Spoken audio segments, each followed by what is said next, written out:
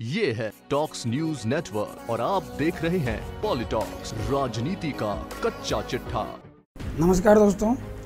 जैसा कि हम सब जानते हैं कि राजगढ़ थाना अधिकारी विष्णुदत्त विष्णु जी की संदिग्ध मौत से पहले उन्होंने अपने करीबी मित्र एडवोकेट गोवर्धन सिंह के साथ में व्हाट्सएप चैट की थी, जिससे ये खुलासा हो पाया कि वो किसी गंदी राजनीति का शिकार थे। आखिर क्या था पूरा मामला? इस पर हम बात करने के लिए आज हमारे साथ मौजूद हैं एडवोकेट गोवर्धन सिंह जी। गोवर्धन जी, नमस्कार।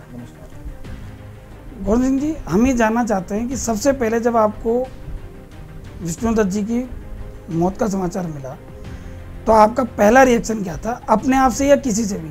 सुनने के बाद क्या लगा आपको? क्या महसूस हुआ? पहला रिएक्शन मेरा ये था कि मैंने कोई अपराध कर दिया।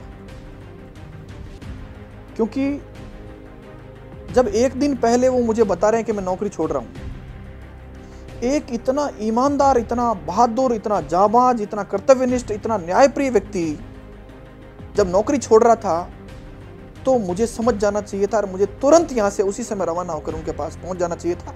आज वो कोहिनूर हीरा हमारे पास होता। मेरा जो पहला रिएक्शन मेरे दिमाग में आया, वो यह कि मैंने अपराधी अपराधी मैं हूँ, मैंने अपराध किया आज इनकी मौत को तीन से चार दिन हो गए हैं। आपने, आपको क्या लगता है कि ये रियली में सुसाइड है या इसके पीछे कुछ और कहानी हो सकती है? देखिए, षड्यंत्र बहुत बड़ा है। बहुत बड़ा इसलिए है कि इतनी सारी चीज़ें, राजगढ़ में और मेरे चैट पर और अदर सारी चीज़ें आ गई एविडेंस जिनसे यह लगता है कि ऐसा बहादुर व्यक्ति सुसाइड नहीं कर सकता।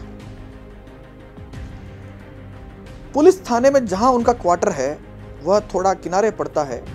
राजगढ़ राजस्थान का सबसे वर्स्ट थाना माना जाता है, जहाँ पर मर्डर होना सामान्य बात है। विष्णुदत्त जी को धमकियाँ मिल रही थी, दबाव था उन पर यह सारी बातें उन्होंने रोजनामचे में लिखी है।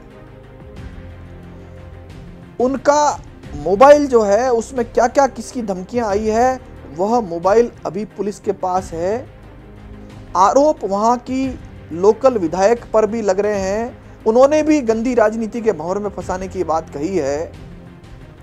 तो आज की अवस्था में अथवा राजस्थान सरकार के अधीन चलने वाली अनुसंधान में या जाँच में आप और हम इस नतीजे तक पहुँच ही नहीं सकते कि यह आत्महत्या या हत्या है। क्योंकि जिस तरह के वहाँ हालात थे, मैं वहाँ पर क्वार्टर में जाकर आया और उनकी डेड बॉडी जिस तरह से लटकी हुई थी दस घंटे से उनकी डेड बॉडी जहाँ लटकी हुई थी, उसके जस्ट पास में कुर्सी पड़ी हिली भी नहीं कुर्सी। और पलंग से जस्ट चिपके हुए पैर उनके दिख रहे थे। तो यह नहीं कहा जा सकता कि यह आत्महत्या ही है। उन पर दबाव था प्रेशर था, धमकियाँ थी, सब एविडेंस है।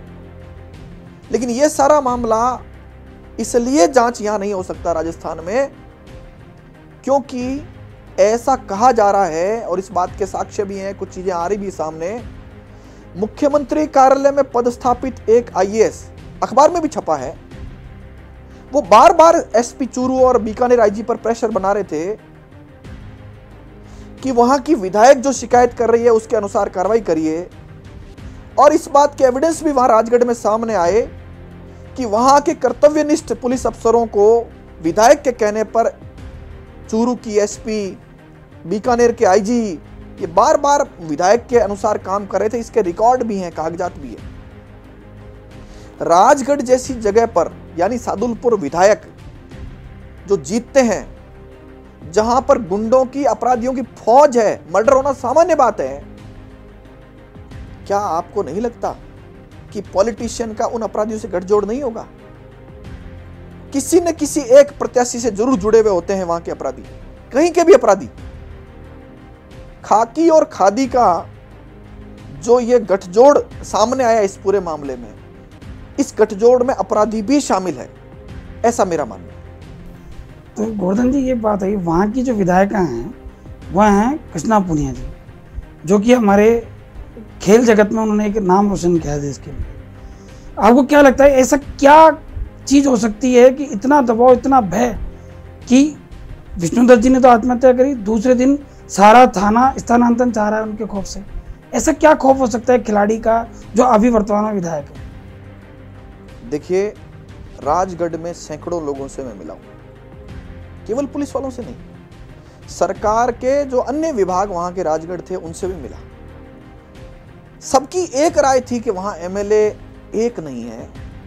दस से ज़्यादा एमएलए है वहाँ पर उनके पति भी एमएलए है, उनके देवर भी एमएलए हैं, उनके कार्यकर्ता भी एमएलए हैं, और वो सारे लोग, सभी सरकारी कर्मचारियों को जिस स्टाइल में धमकाते हैं, मेरे पास कुछ के ऑडियो पड़े हैं, टेक्स्ट पड़े हैं व्हाट्सएप पड़े हैं, जिन्होंने लोगों ने वहाँ मुझे दिए, उससे लगता है कि राजगढ़ की की जो विधायक हैं, इसके अलावा एक चैट विष्णु जी का भी पड़ा है, जो विष्णु जी को बदनाम करने के लिए विधायिका के बारे में जो बातें लिखी गई है विष्णु जी द्वारा, वह भी प्रमाणित करती है कि निश्चित रूप से खादी का, खाकी के बड़े अफसरों के साथ कुछ न कुछ गठबंधन ज़रूर था, जिस कारण से परिणति मिली। अन्यथा देवता कहलाने वाला व्यक्ति, इतना जाबाज अफसर सिंघम के नाम से प्रचारित, उसके साथ ऐसी घटना घट जाए, यह संभव हो नहीं सकता। तो ये थे हमारे साथ हाई कोर्ट के बड़े जुझारू और निर्भीक वकील गोवर्धन सिंह। आपने हमें समय दिया इसके लिए आपका बहुत बहुत धन्यवाद। धन्यवाद। ये है टॉक्स न्यूज़ नेटवर्क और आप देख रहे हैं पॉलिटॉक्स राजनीति का कच्चा चिट्ठा।